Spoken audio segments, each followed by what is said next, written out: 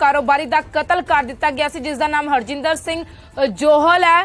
ਅਣਪਛਾਤਿਆਂ ਦੇ ਵੱਲੋਂ ਗੋਲੀਆਂ ਮਾਰ ਕੇ ਉਸ ਨੂੰ ਮੌਤ ਦੇ ਘਾਟ ਉਤਾਰਿਆ ਗਿਆ ਸੀ। ਇਸ ਮਾਮਲੇ ਦੇ ਵਿੱਚ ਹੁਣ ਪੁਲਿਸ ਦੇ ਵੱਲੋਂ ਵੱਡਾ ਐਕਸ਼ਨ ਲਿਆ ਗਿਆ। ਪੁਲਿਸ ਨੇ ਇੱਕ ਪੋਸਟਰ ਜਾਰੀ ਕੀਤਾ ਜੀ ਹਾਂ, ਪੁਲਿਸ ਨੇ ਮੁਲਜ਼ਮਾਂ ਦਾ ਪੋਸਟਰ ਜਾਰੀ ਕੀਤਾ ਜੋ ਕਿ ਸੀਸੀਟੀਵੀ ਕੈਮਰੇ ਦੇ ਵਿੱਚ ਕੈਦ ਹੋਏ ਸਨ ਅਤੇ ਇਨਾਮ ਰੱਖ ਦਿੱਤਾ ਗਿਆ ਮੁਲਜ਼ਮਾਂ ਤੇ ਜਿਨ੍ਹਾਂ ਨੇ ਇਹ ਵੱਡੀ ਵਾਰਦਾਤ ਨੂੰ ਅੰਜਾਮ ਦਿੱਤਾ ਹੈ। 2 ਲੱਖ ਦਾ ਇਨਾਮ ਰੱਖਿਆ ਗਿਆ ਤਾਂ ਦੱਸਣ ਵਾਲੇ ਨੂੰ 2 ਲੱਖ ਰੁਪਇਆ ਪੁਲਿਸ ਪ੍ਰਸ਼ਾਸਨ ਦੇ ਵੱਲੋਂ ਦਿੱਤਾ ਜਾਵੇਗਾ।